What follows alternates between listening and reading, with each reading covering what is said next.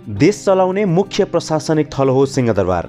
तर सिंहदरबारले नै मुलुकका प्रमुख दस्तावेजहरूलाई संरक्षण दिन नसकेको समाचार तपाईँ हाम्रा लागि निश्चय नै दुःखद छ।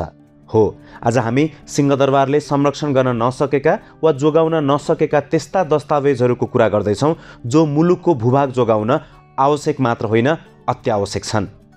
दर्शकवृन्द यो यस्तो दुःखद समाचार हो जसले हरेक नेपालीको मन दुखाउँछ। अब सुरु गरौँ सिंहदरबारले गायब गरेका सात दस्तावेजहरू। सर्वप्रथम कुरा गरौँ दुई हजार पन्ध्र सालमा भएको पहिलो आम निर्वाचनको भोटर लिस्टको प्रसङ्गबाट।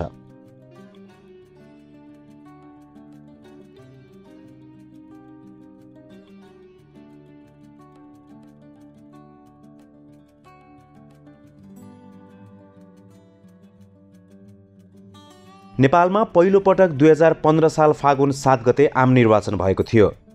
त्यसबेला मुलुकभरि मतदानको व्यवस्था गरिएको थियो।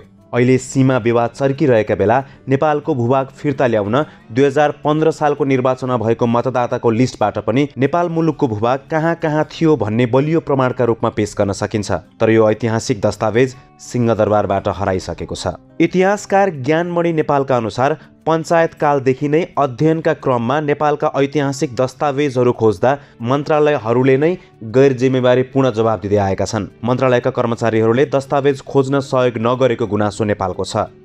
कैयौँ पटक असली दस्तावेज देखाउन नमिल्ने वा दरबारमा लगिएको छ भन्दै नक्कली दस्तावेज देखाएर फर्काइन्थ्यो।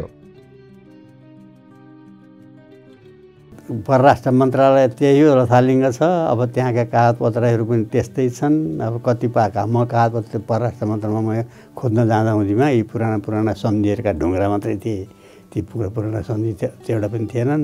सकल कागजपत्र त्यहाँ छँदै सबै नक्कल मात्रै थिएन सकल कहाँ गयो त भन्दा दरबार गयो भन्थे। हामी मैले त्यहाँ अनुसन्धान गरेर जाँदा हुँदीमा। होइन? धेरैवटा कागजपत्र मैले त्यहाँ अनुसन्धान गरेँ। अरू सकल पत्र चाहिँ देखाउँदैन थिएँ क्या। देखाउँदैन थिएँ त्यो अल अलग्गै कोठा राखेर राखे अलग्गै कोठामा राखेका थिएँ त्यहाँ नक्कल मात्रै देखाउँथे अनि कोही चाहिँ त्यो नक्कल सकल मिल्ने मिल्थे कोही मिल्दैन थिए अनि त्यो चाहिँ कहाँ गयो त भन्दा दरबार गयो भन्थे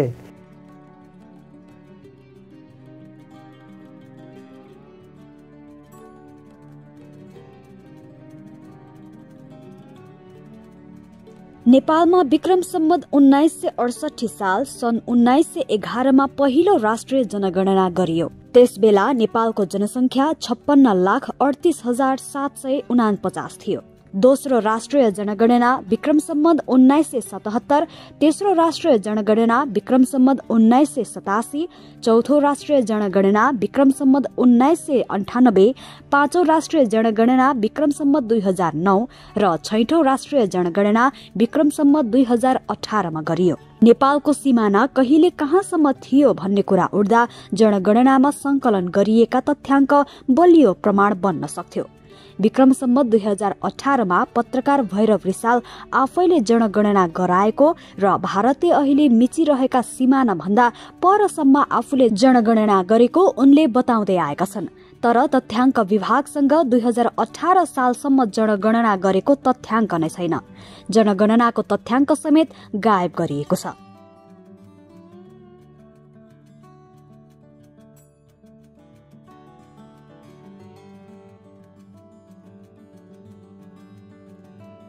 सीमाविद बुद्धिनारायण श्रेष्ठका अनुसार सिंहदरबारभित्र भोट र भारतसँग पत्राचार गर्ने कोठा थियो।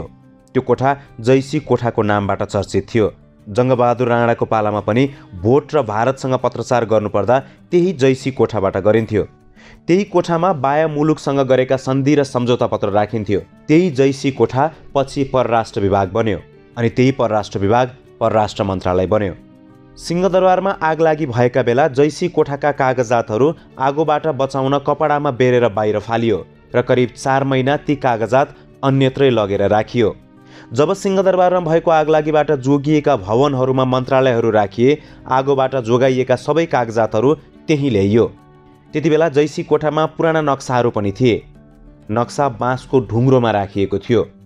आगलागी भएर सारिएका ती दस्तावेजहरू सिंहदरबारमा फिर्ता त ल्याइयो तर मुख्य मुख्य दस्तावेज हराए। सीमाविद श्रेष्ठका अनुसार पछि जैसी कोठामा हेर्न जाँदा ढुङ्ग्रो चाहिँ थियो नेपालको नक्सा थिएन। नेपालको वास्तविक पुरानो नक्सा गायब भयो। जुन नक्सामा सुगौली सन्धि अघि नेपालको कुल भूभाग दुई लाख चार हजार नौ सय सत्र वर्ग किलोमिटर नक्साङ्कन रहेको ग्रेटर नेपालका अभियन्ता फणिन्द्र नेपाल बताउँछन्। सुगौली सन्धि पछिको नक्सा समेत त्यही बेला गायब भयो।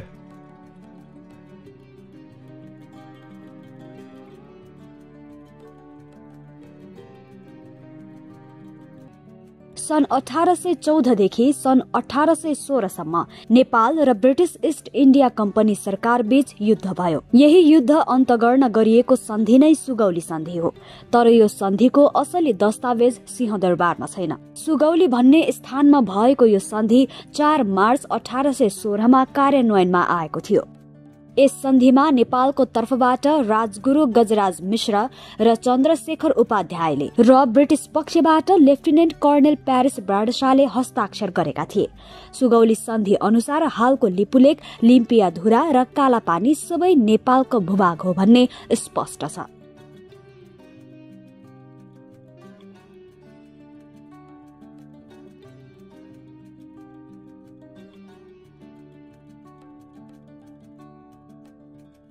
भारत छाडेर जाने बेला अङ्ग्रेज शासकले नेपालका तत्कालीन प्रधानमन्त्री मोहन शमशेरलाई आफ्नो भूभाग फिर्ता लिन पत्र लेखेका थिए। तर तत्कालीन मन्त्री बबर शमशेरले राणा शासन नै धर्मरिएको अवस्थामा थप भूभाग लिन नहुने जिकिर गरे जसलाई मोहन शमशेरले सदर गरिदिए।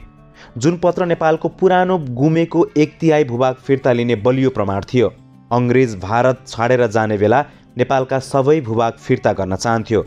मोहन शमशेरले आँट नगरेपछि अङ्ग्रेजका सैन्य कमान्डर नै काठमाडौँ आएर भूभाग फिर्ता गर्न पत्र लेख्न सुझाए र त्यसका लागि आफूहरूले सबै किसिमको मद्दत गर्ने बताए। तर पनि तत्कालीन प्रधानमन्त्रीले टिस्टा काङ्गडासम्म शासन गर्ने आँट गरेनन्। प्रश्न उठ्छ सिंहदरबारमा राखिएको उक्त पत्र खोइ।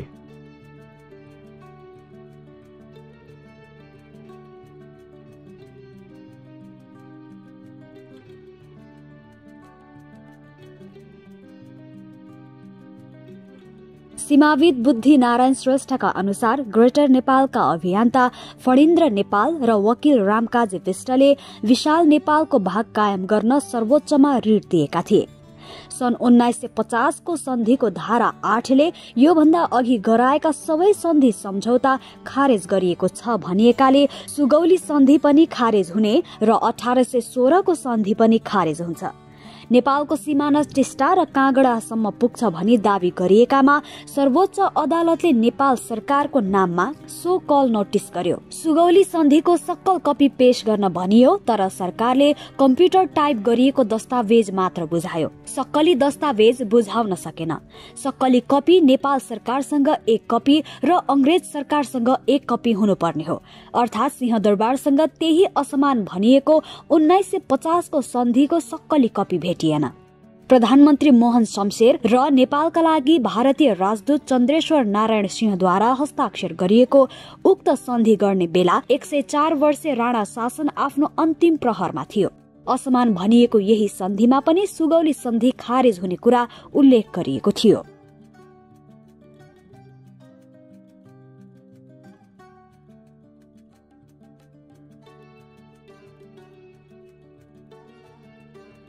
प्रथम विश्वयुद्धमा तत्कालीन प्रधानमन्त्री चन्द्र शमशेरले बेलायतलाई सघाए। उक्त युद्धमा दस लाखभन्दा बढी नेपालीले ज्यान गुमाए। यो सहयोग बापत प्रधानमन्त्री चन्द्र शमशेरले नेपाललाई सार्वभौम सत्ता सम्पन्न मुलुक मान्न बेलायतलाई बाध्य बनाए र त्यसपछि पुनः बेलायतसँग नयाँ शान्ति सन्धि गर्ने कुरा उठ्यो। सन्धिका लागि पहिलो वार्ता सन् उन्नाइस सय एक्काइसमा भयो। त्यसपछि सन्धिबारे दुई पक्षबीच काठमाडौँ र लन्डनमा पटक पटक गरी एक वर्षभन्दा बढी समय छलफल चर्यो छलफलपछि सन् उन्नाइस सय तेइस डिसेम्बर एक्काइस तारिकका दिन काठमाडौँको सिंहदरबारमा नेपाल र बेलायतबीच सन्धिमा हस्ताक्षर भयो। उक्त सन्धिले सन् उन्नाइस सय तेइस अघिका सबै सन्धि खारेज गर्यो। सोही दिनदेखि नै नेपालले युद्धमा गुमाएको भूभाग फिर्ता पाउने अधिकार पायो। तर त्यो अधिकार लिनेतर्फ त्यति बेला ध्यान दिइएन। विज्ञहरूका अनुसार उक्त सन्धिको असली दस्तावेज निकाल्न सकेको खण्डमा अन्तर्राष्ट्रिय अदालतमा यो प्रमाण पेश गरी नेपालले गुमाएका पुराना भूभाग फिर्ता लिन सक्ने अवस्था बन्छ। तर यो सन्धिको असली दस्तावेज पनि सिंहदरबारबाटै हरायो।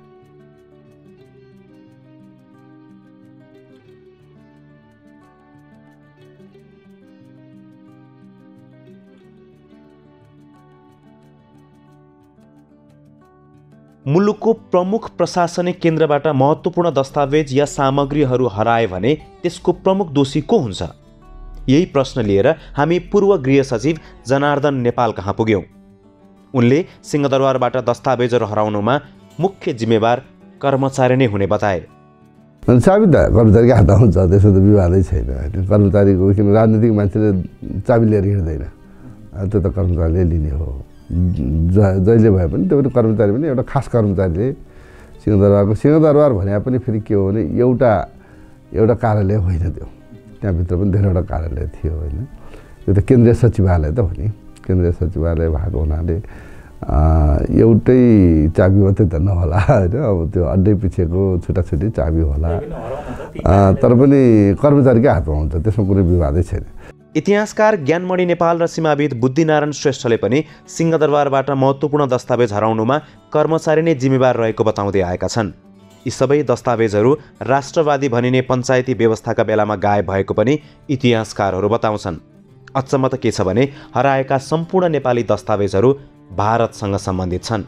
मुलुकको भूभागसँग सम्बन्धित यति महत्त्वपूर्ण कागजातहरू जहिले र जसरी गायब गरिएको भए पनि यसमाथि खोज अनुसन्धान र कडा कारवाही जरुरी छ।